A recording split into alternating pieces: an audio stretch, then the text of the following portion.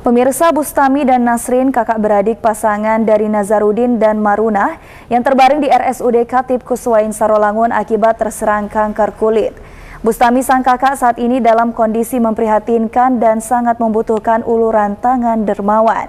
Informasi ini sekaligus menutup perjumpaan kita kali ini. Pemirsa saat ini Jack TV sudah beralih ke siaran digital dan Jack TV dapat dinikmati menggunakan televisi lama dengan menambahkan set-top box. Berita Jack TV juga dapat diakses melalui kanal YouTube resmi Jack TV.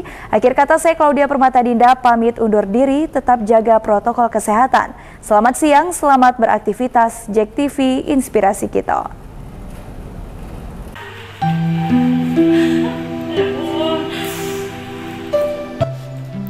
Inilah isak tangis sang kakak bernama Enda Sukma yang tiada henti melihat Bustami yang baru berusia 17 tahun terbaring dirawat Zal Bedah RSUD Katib Kuswain Sarolangun.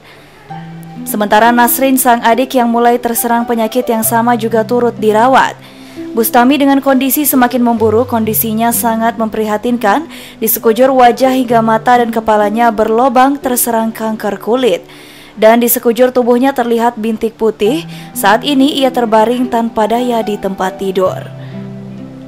Bustami dan Nasrin merupakan anak dari pasangan Nazarudin dan Marunah yang beralamat di RT 9 Desa Sungai Baung Seberang, Kecamatan Sarolangun, Kabupaten Sarolangun, Jambi. Dari umur 4 tahun berarti sekolah dalam kondisi sakit gatal gitu ya. Iya. Itu apa yang dirasakan, Dek? Gatal, sakit, Gatal-gatalnya seperti apa? seperti pedih. Sementara Enda Sukma yang akrab dipanggil EN, kakak dari Bustami yang tidak hentinya meneteskan air mata melihat kondisi sang adik terbaring tak berdaya dengan kondisi yang semakin memburuk. Bustami terbaring di RSUD Katib Kuswain mendapat bantuan pengobatan pemerintah daerah setelah PJ Bupati Sarolangun membesuknya. Kanker yang diderita Bustami ini telah menyerang dirinya sejak berusia 4 tahun. Karena keterbatasan biaya, Bustami hanya berobat di rumah saja, walaupun sebelumnya pernah dirujuk ke Jakarta.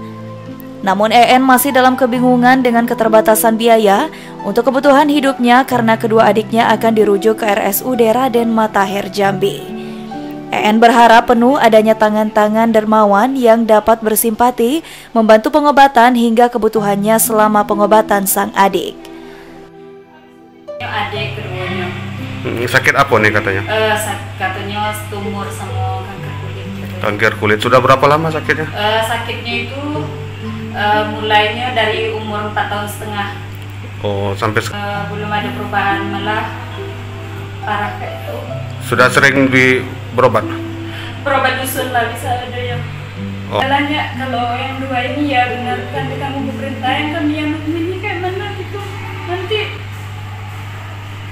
mau dirujuk kan di ke Jambi gitu kan Hmm?